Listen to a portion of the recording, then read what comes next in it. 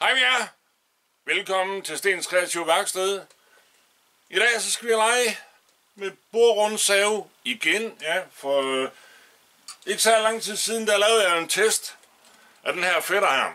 Og der luftede jeg selv ideen om, om der er nogen, der synes, det kunne være sjovt at se, hvordan man skifter klingen i sådan en fætter her. Og så var der en, der så sagde til mig, at han kunne godt tænke sig at se forskellen på at skifte en klinge på den her over, som er min egen, og den her, jeg har til test fra Skill.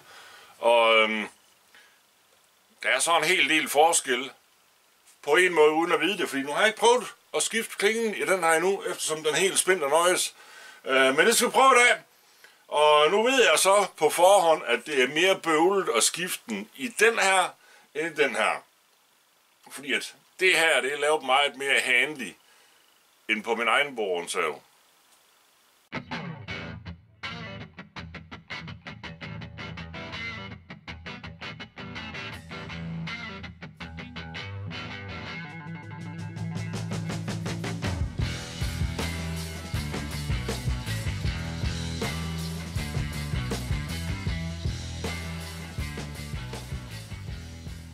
Det er så typeskiltet på min egen rundsav, som jeg nu har trukket lidt frem her. Og øh, der er stor forskel, fordi at man kan sige, at her ovenpå har vi ingen mulighed for at komme ned til noget som helst her. Så øh, det er nedefra eller fra siden, om man vil, at det skal foregå med at skifte den der klinge der. Og øh, den her er indrettet sådan, at der er sådan en kæmpe kasse her nedenunder. Og så har vi de her faste ben, hele det her understil, som man ikke kan gøre noget som helst ved. Så øhm, den eneste mulighed for at komme til den der klinge der, det er, at jeg bliver nødt til at lægge den ned på gulvet på den ene side. Nu har vi så igen lidt hagen med den her, det er, at den er så uhåndterlig, som den er, og den vejer også lidt meget. Nu må jeg prøve at se, om jeg kan få den lagt ned her. Og øhm, nu er det så en ting, som jeg skulle have repareret på den her, som jeg ikke har fået gjort, fordi at på et tidspunkt, der satte jeg sådan et stykke alufladeren under her, de to ben her, fordi når jeg skulle få den rundt hen i værkstedet, så kunne jeg sætte sikkervognen lige under i den her side her, og så køre den rundt med den, men øh, den her plade, som sidder hernede under, er kun sat fast med sådan nogle meget usel punktsvejsninger, og den er så brækket af på den der. Men øh, nu vil jeg prøve at se, fordi at nu har vi jo skærmen til at sidde herinde og klingen og det hele. Øhm, og nu er den så kørt lige så langt ned eller ud af den her vej, som den kan. Og øhm, der skal jeg så slås med, at jeg skal have min spæde krop ind imellem alt det der skrammel og lægge på min grædende knæ hernede på gulvet, for at komme ind til det der skidt der. Det var ikke sådan mega nemt, både, ups, både have mig selv og kameraet herinde på samme tid, men nu håber jeg, I kan se bare lidt af det, som at jeg roer med her. Øhm, fordi at nu når man skal klinge den her fætter her, så sidder der jo sådan en skive hernede, hvor der er sådan nogle huller i, lidt ligesom på en vinkelsliber, og nu kan jeg ikke huske det, hvor jeg købte den her, hvad for noget værktøj, der var med, men jeg kunne jeg tror måske, at den ene, det, det, det ene, ene nøgle, der var med, det er den her, fordi den passer herned i de her huller her. Og så har vi så bolden, der sidder hernede oveni, man skal løsne. Øhm, og øh, nu har jeg så kun skiftet klingen på den her en gang, og sidste gang, når jeg skiftede klingen, der pillede jeg den her af, men det var så også fordi, at samtidig med at skifte klingen, så skulle jeg have noget pille ud, som sad fast herinde i kassen. Der var et, et lille, en lille fli af et stykke træ, som var kommet ind i sugeslangen, som sidder helt heroppe på den her. Toppen af klingen har vi heroppe, heroppe og her der sidder sugeslangen heroppe på siden her. Øh, og der sad noget fast ind, som gik imod klingen, så det skulle jeg pille ud, så derfor så piller jeg pille den her, den her side, side af, af skærmen her. Men nu vil jeg lige prøve at se, om det kan lade sig gøre for mig. Og pille klingen af den her, uden at pille den der af. Det vil jeg lige prøve at gøre et forsøg med. Og øh, nu har jeg så også fundet mig en topnøgle, fordi at, au, der var godt nok lige ben i vejen der, der lige knaldede min albue. Øhm, fordi en, en 13 mm nøgle passer på den her bold, som sidder her. Øh, nu tror jeg måske, det bliver svært for mig at få placeret i kameraet, så I kan se, når jeg piller det der fra hende. Men nu piller jeg lige bolden ud, og den der skive der, Og så vender jeg lige tilbage igen. Websy! Så fik jeg pillet skiven og bolden af. Nu skal jeg se, om jeg kan få klingen her til at give sig her. Den sad jeg faktisk i løs her. Nu burde jeg have taget handsker på til det her, men øh, det har jeg så ikke. Øh, det plejer jeg så at gøre, når, når der nogle helt nye klinger, jeg roder med. Nu må jeg se, om jeg kan få den ud herinde, for det tror jeg faktisk godt, jeg kan. Den kan lige smut, Kan du lige smutte ud? Den kan lige smutte ud her. Sådan. What it? Øhm. Nu det her er så ikke verdens bedste klinge der på den her. Øh, men øh, jeg satte den på igen, fordi at jeg har godt nok en helt ny til at lægge, men øh, selvom den ikke er sådan mega god den her, så kan den godt save lidt mere. Øhm, og så skal vi bare ned der. Så skal vi lige have det der støv væk, som kommer til at ligge her. Nu burde man så, hvis nu skulle have en helt smart og godt det her, have blæst det her af herinde i, når man gør sådan her, fordi så må vi få det der støv. Men så skal vi lige have fat i vores skive, som ligger hernede på gulvet, og øh, man kan se, at det er sådan lidt, eller ligesom dem, der sidder på en vinkelsliber, der princippet er det samme, bare bortset fra, at de der hakker der passer ikke i størrelse med en nøgle fra en vinkelsliber. Nu er der sådan to lige kanter på den her, så den skal ligge rigtigt, når man sætter den på den herinde. Så skal vi have den til at dreje rundt her, indtil den falder ned i det hak, der var der. Sådan. Og så skal vi så bare lige have vores bold i, hvis ellers lige jeg kan få den til at tage ved i gevindet. Det var der. Og så skal jeg så bare lige have spændt den der bold igen.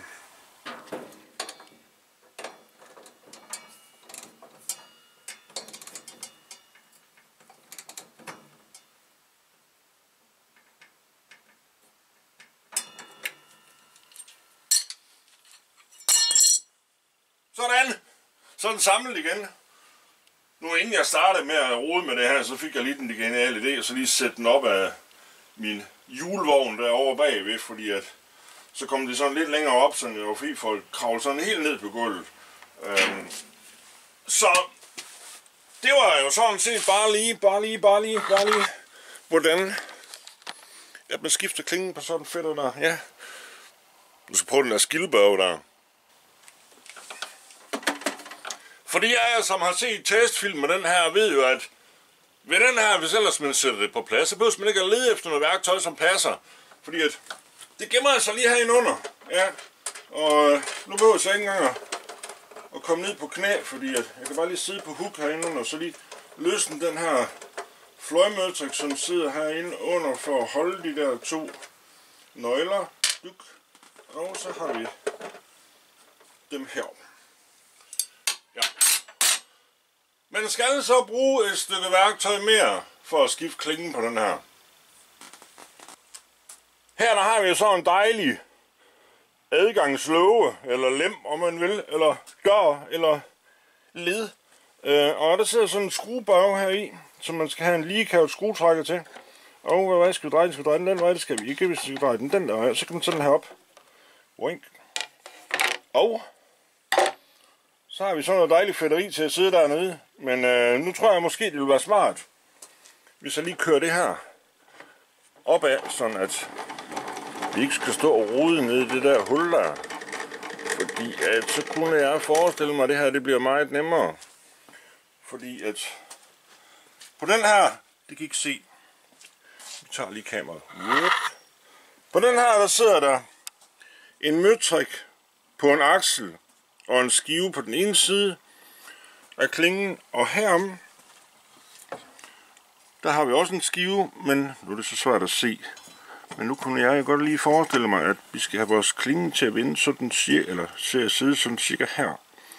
Fordi så har vi sådan en dejlig nøgle her, som gerne skulle passe ned på akslen. Det var der. Så man kan holde, holde kontra på den her nøgle, der sidder her. Og så har vi så den anden nøgle, som så passer på møtrikken her. Nu skal vi se. Hvor har vi den henne? Der var den. Øhm. Og nu vil jeg lige tage nogle handsker på, når jeg skruer med det der. Du hoppede i kameraet om på den anden side af saven. Og nu har jeg fundet mig et par handsker, og nu skal jeg lige se. Vil det være sjovere for mig, hvordan kan den der gå om? Skal vi herned, eller hvad? Fordi at, jeg godt have sådan, at mine fingre bare lidt af vejen for den der klinge der. For nu har jeg den ene nøgle til at sidde heroppe i spaltekniven. Øh, så jeg kan holde min hånd her, så jeg kan faktisk holde nøglen samtidig med at læne over spaltekniven. Og så nu når jeg så tager i den her nøgle her, så kan man sige, at jeg trækker den rigtige vej i nøglen, fordi at det er med tænderne på saven, så burde det ikke ske det hele. Nu se, hvor hårdt den sidder, den her. Det er ikke fordi, jeg var så tosset igen. Øh, og så er det så bare at pille den her møtrik af, som sidder her. Der er så lidt lange gevinder på den her, men det er sådan set også fint nok. Øhm, skal jeg så lige lade være med at smide den ned. Der, slut. Og så kan vi godt tage vores nøgle væk om på bagsiden. Og hvis vi så lige vrikker lidt her, så kommer den fri, så kan fat i vores skive, som sidder her. Hvis jeg lige kan få fat på den her. Sådan. Og kan vi få klingen ud? Det kan vi ikke. Det er fordi det her håndtag er i vejen, som man kan bruge til at køre spæltekniven op og ned med. Det var sådan en ting, som jeg ikke viste i testen. Sådan. Så kan vi få den ud. Og øh, det synes jeg da sådan set, det var en hel del meget nemmere end på den der bordensav, som jeg selv har. Også fordi, at man behøver sikkert ikke kravle rundt ned på gulvet. Nu er det sådan set bare at samle igen. Nu sagde jeg dengang, hvor jeg lavede testen på den her, jeg godt kunne tænke mig, at den har været lidt højere, den her, fordi at jeg synes, den er for lav til den højde, som jeg er, og man kan ikke stille på benene, så man kan skrue dem ud og ind. Øhm, men det er sådan set også fint nok, men man kan sige lige her, når man skal skifte klingen, så skal man stå sådan lidt krumrykket her, men øh, nu tager det jo ikke flere timer at gøre det her, det er jo faktisk meget nemt. Og nu fik jeg den der på plads, og så skal vores skive på plads, og lige igen, sådan her skive har jeg også udformet sådan her, der er sådan nogle lige hakker på siden af den, så den skal vende rigtigt, når man sætter den ind på. Men det kommer så helt af sig selv, fordi at allerede når man starter med at sætte den ind på akslen her, så kan man ikke få det til at sidde forkert. Nu får klingen ned af den her bøsning herinde. Nu skal vi se. Du, du, du, du, du, du. Der er den. Og den der med der. Og så skal vi så bare have møtrikken på. Og så er det så bare at skrue det ind på plads igen. Det her, det er en mega fornøjelse, når det er lavet på den her måde. I stedet for, at man skal ligge og rode ned på gulvet. Man kan så godt nok sige på den anden måde, at nu er det jo ikke sådan hver dag, man skifter klingen på sådan en, en rundsav. Men øh, så vil den her nøgle til at falde ned på plads, når hakket kommer her. Og der kommer hakket. Der kommer det. Øhm, men derfor så gør det ikke noget, at det er dejligt nemt at arbejde med. Nu skal se her, kan jeg få den her nøgle herom, og så holde den her. Sådan. Vi tjekker lige. Det ser sådan set meget godt ud. Så skal lige huske at låse det her håndtag igen til spaltekniven. Og sætte vores plade på her. Der er sådan et par hakker herinde i enden her, du, du, som skal passe ned i under herhenne. Og så er det bare at lægge den der ned, og så dreje den der tilbage igen, og så er der sådan en fingerbag som man lige kan tjekke, om den sidder godt nok. Den kan man så også bruge, når man tager den af, men det gør jeg så ikke. Øhm, og så er der sådan set bare lige husk at øh, sætte sit værktøj på plads igen. Herinde under saven. Ja.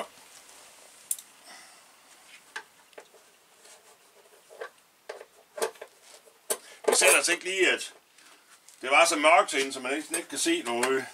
Men det er så ikke savens skyld, jo.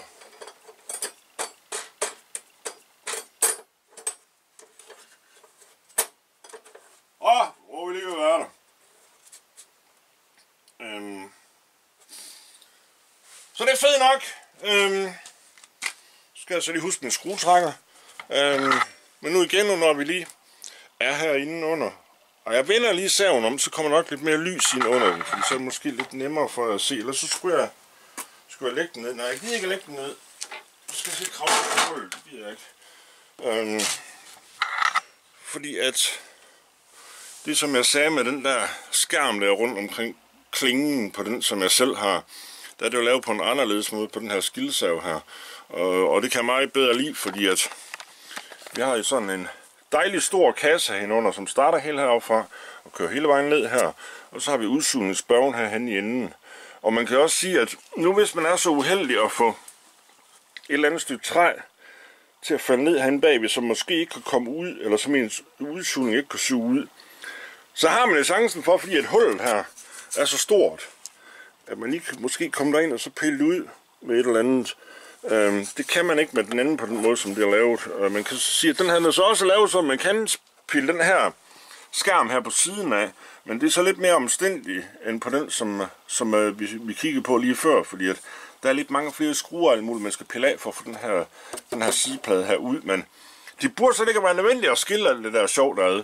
Og også det, som jeg også kan lide ved den her, det er det hele det, som er godt lukket til herinde under, og at når man så kobler sin støvsuger på her, så suger det mega godt, og det sviner næsten ikke rundt, over, rundt på gulvet og sådan noget. For, for de er jeg, som har set nogle af mine film, hvor jeg har brugt min egen borerundsav, så ved jeg, at når jeg er færdig med at bruge den, så selvom jeg kobler støvsugeren til, den har også den der sugeskærm, der sidder sådan ovenover klingen her. Men når jeg er færdig med at bruge den, så lægger jeg altid en helt ballade nede på gulvet. Og det gjorde der ikke den der, hvor jeg lavede testen på den der.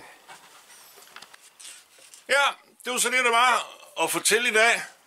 Og igen, nu hvis I synes, at sådan en 1340 rundsav her, den er rigtig fed, så hop ind på HMW Trading Webshoppen og kig så en børge derud. Eller også besøg Davidsen, der kommer link i beskrivelsen her under filmen. Øh, der er en, der skrev til mig, at øh, nu har jeg ikke selv tjekket det ud, at han sagde, at den her, den rimelig meget mindede om, var det en Metabo borundshav, tror jeg det var. Øhm, og øhm, man kan så sige på en måde, det er måske ikke så mærkeligt, at der er mange af sådan nogle maskiner, borrundsav og akkuboremaskiner og alt muligt andet, det ligner hinanden rigtig meget, fordi at noget af det er sådan stort set ens, men man kan i hvert fald sige, at den her sav her, det der med udskiftende klinge her, der er 100 gange, nej ikke 100 gange nemmere, det er en del nemmere, end på den der børge, som nu står derovre bagved der. Øhm, og øh, jeg synes, det er rigtig smart, det der, eller rigtig godt, det der med, at man ikke behøver så længe kravle rundt ned på gulvet, men bare kan lige pille den her plade af, lige nøglerne ud ind under maskinen her, så af med klingen, på med, på med en ny klinge, og så er man klar til at køre videre, i stedet for at man skal lægge ruden ned på gulvet. Øhm, og det var det, der var at fortælle i dag. Så indtil næste gang, så må I det med hygge jer.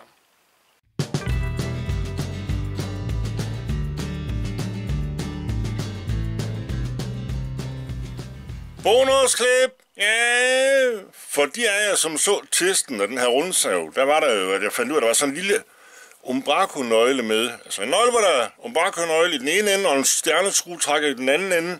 Øhm, og jeg kunne ikke finde nogen steder her på maskinen, hvor man kunne placere den eller opbevare den, selvom der er opbevaringsmulighed til alt muligt andet. Men øhm, nu har jeg fundet et sted, hvor at man kan opbevare den, også sådan den sidder rigtig godt, så den ikke bliver væk. For jeg fandt nemlig lige ud af, at herinde under, hvor man har de her nøgler til at sidde, nu er det lige der, I kan se, når det er så mørkt her. Her vil han have nøgler til at sidde, den der fløjbemøbsel, der sidder der på den der gevindbørge der, der er puttet den der ombrakonøgle lige bagved her, og så har jeg spændt den der. Og øh, nøglerne sidder, sidder, sidder jo godt nok her, selvom at den der ombrakonøgle, den sidder hen bagved. Og så har man det hele på samme sted, hvilket jeg synes er rigtig godt, fordi at nu behøves man ikke og er det til at ligge et eller andet sted, hvor man skal huske på, hvor det er henne. Eller så låner man det lige, og så bruger det til noget andet. Nu ved man så, at nu har man hele skidtet på saven, så man ikke kommer ud for en eller anden træls ting. Nu var der også en anden ting, jeg tænkte på. Det var om, at måske den der fætter der. Nu prøver jeg lige at køre klingen ned her.